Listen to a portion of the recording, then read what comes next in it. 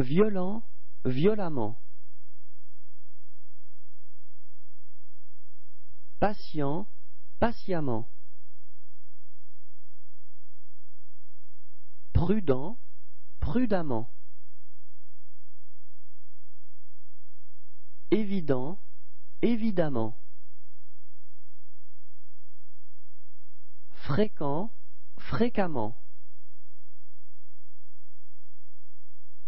Récent, récemment.